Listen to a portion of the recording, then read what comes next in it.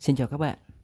Ờm, trước video ơ, trước ờ, mắt các bạn đây là những cái ờ, rong đuôi chồn của mình và mình lấy ở cái hồ ngoài hồ ngoài trời về. Thành thử ra là các bạn có thể nhìn thấy là nó bị rêu tóc nè.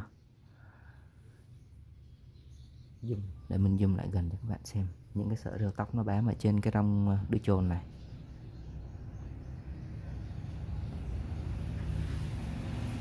Rất nhiều luôn, bám rất nhiều. Đây. Rêu tóc nè. Đó.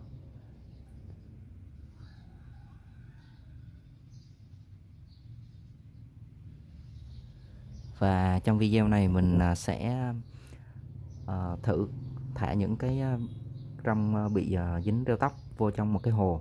Hồ này của mình thì nuôi à, cá kiếm và cá mún. Ngoài ra thì còn có tép loạn màu nữa thôi.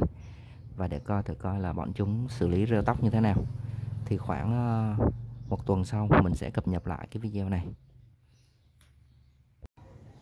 Chào các bạn, đến hẹn lại lên. Và các bạn nhìn này, thật ra là bây giờ là đã hai tuần rồi đó. Và những cái cây ờ, cây rong đuôi trồn của mình đó nó đã giảm thiểu rất là nhiều cái ờ, rêu tóc bám ở trên. Nhìn này. Mình vớt ở phía bên này giảm thiểu rất nhiều nhiều luôn. Ở đây vẫn còn một nhúm này. Nhưng mà không có cơ hội phát triển. Tép ờ, với lại cá nó ăn hết rồi. Rất là nhiều. Đó, cái đám này của mình nè. Các bạn nhìn nè.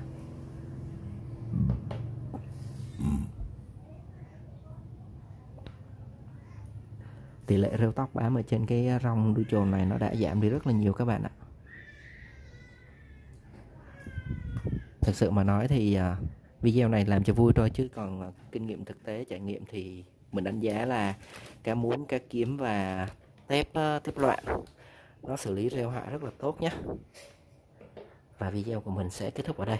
Hẹn gặp lại các bạn ở những video tiếp theo.